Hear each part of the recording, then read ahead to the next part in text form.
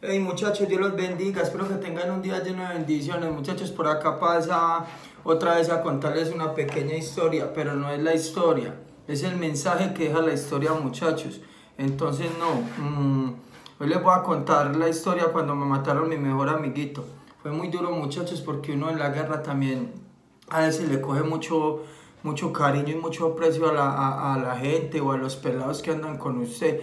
Usted cuando es bandido siempre va a tener un amiguito, el socio, el que por usted da la vida, el que lo cuida, mejor dicho, el que arrima todos los días por usted a su casa, el que está en las buenas y en las malas, pues, ¿sí me entiende? Entonces usted conoce, en vez, de, en vez de usted conocer como un amigo, conoces como un hermanito y eso tenía yo, porque en todos los parches, pues, cada quien de todos los que habemos tienen un amiguito que es mejor que el otro, ¿sí me entiendes? El que uno le cuenta las cosas, el que se mete más en problemas con él, el que lo defiende a usted, el que usted lo defiende a él. Bueno, en todo caso, muchachos, la idea es que pónganle en cuidado mucho esta historia. Esto sucede, muchachos, que estaba yo, eso era un viernes, me parece que era un viernes, no sé si era un viernes o un jueves, no sé, ya hace muchos años que fue eso, no me recuerdo muy bien.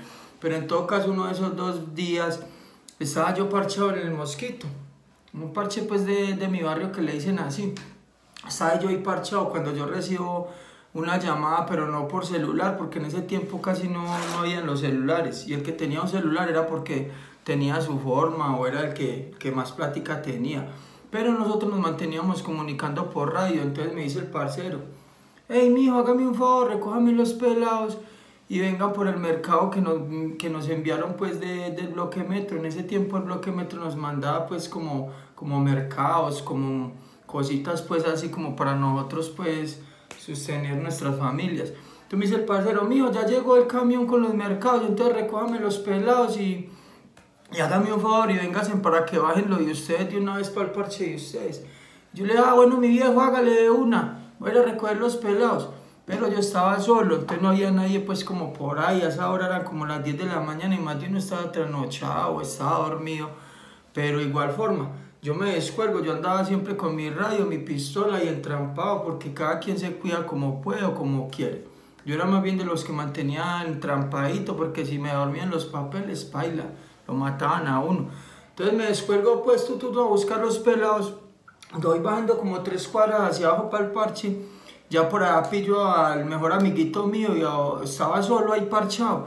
Entonces yo llego y le digo, mi socio, necesito que me haga un favor, venga y me acompañe allá a la frontera a llamar los pelados de abajo para que nos acompañen arriba a recoger los mercados pues que nos mandaron pues los parceros y esto y lo otro.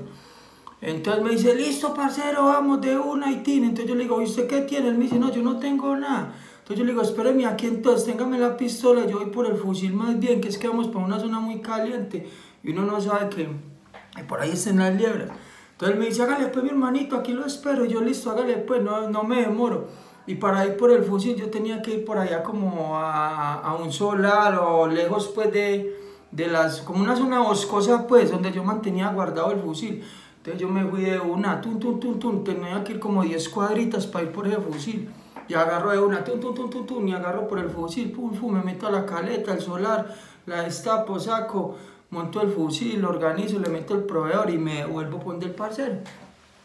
Pille pues, cuando yo llego en la esquina del billar donde yo dejé al parcero, yo ya no lo pillo ahí, yo hasta con los dónde estará, yo ya con el largo ahí en toda la principal, y yo, eh, ¿dónde estará este marica? Entonces le pregunto al man del billar, hey viejo, veníame, ¿dónde está el parcerito que estaba aquí esperando? Me lo mío, por ahí llegó otro amigo y lo recogió y agarraron de ahí para abajo. Y yo, ah, qué marica, este huevón no me esperaba, pero bueno, no le da importancia. Y agarré ahí para abajo detrás de ellos, pero ellos ya iban muy abajo, yo no los había logrado, pues ya no los veía. Pero yo sigo para abajo con el fusil, tu, tu, tu, tu. Cuando voy llegando por ahí ya voy bajando dos cuadritas más o menos de ahí el billar por donde íbamos. Siento es una balacera la hijo de madre ahí abajo, tan, tan, tan, pum, Pero muchachos, balacera de locos, hasta sonaron petardos y todo. Y yo, ay, marica, yo ahí me freno, tú, y yo, ay, marica, me, me entrinchero. Yo digo, uy, no, los pelados. Y el parcerito mío, mi mejor amigo, y el otro pelado que se encontró con él, se me adelantaron para ir a llamar los pelados y no me esperaron. Entonces cuando ellos llegaron ahí abajo a llamar los pelados a esa frontera, ya estaban las liebres dentro de las casas intrincherados. ¿Sabe? Cuando los pelados llegaron, ahí mismo los prendieron, y si ustedes eran que mata, le pegaron a los parceros. Entonces cuando yo voy bajando, yo siento la balacera, tan, tan, tan, tan, tan, tan, bum, bum, bum, bum, los petarditos, yo y marica, y yo los parceros, ahí me meto con más ganas con el fusil, tum, tum, tum, tum. Cuando me meto donde escuché la balacera, como era una curva, yo no lograba ver, pues, qué era lo que estaba pasando, pero entonces yo era ahí para abajo, ¿sabes? Que no es piraña y los parceros, me tiré, tum, tum, tum, tum, de ahí para abajo, de ahí para abajo, ahí. Cuando ya voy llegando a donde estaba la balacera y donde estaba la, la frontera, pues para llamar los pelados, yo veo un número, un número como de los petardos, y yo, ay marica, entonces yo me entrinchero y espero que el humito como que se vaya yendo, porque todo fue en segundos. Cuando se va yendo el humito, yo pillo, y ya pillo son los dos cuerpos de los amigos míos ahí tirados. Y yo, ay marica, ¿cómo así? Entonces yo ya me tiro, tum, tum, tum, me tiro. Cuando los miro muchachos, y los cogieron, ellos se pararon como en un filo, pues como a llamarlos los otros pelados que estaban por allá y no miraron para atrás y dentro de las casas que habían detrás de ellos estaban las liebres metidas hacía como 4 o 5 horas esperando a ver quién baja para cogerlos. Entonces pillé pues muchachos, ahí mismo los pegaron por detrás. Cuando yo llego, hmm, ya no, no pude hacer más nada. Cuando entonces yo me paro a mirar cómo era la vuelta, qué había, ya pillé pero las liebres, pero por allá muy abajo ya sus maricas iban volados para el barrio de ellos. Entonces yo mismo los cojo y los prendo a fusil desde allá arriba. Pim, pim, pim. Cuando al momentico ya me tocó ir, dime porque usted sabe que al momento llega la policía y todo eso. Pero muchachos, no se me olvida que cuando yo ir, mire los, los dos amiguitos míos ahí tirados, uy, padre, estaban destrozados. Te viera esos petardos como les volvieron la cara, los ojos.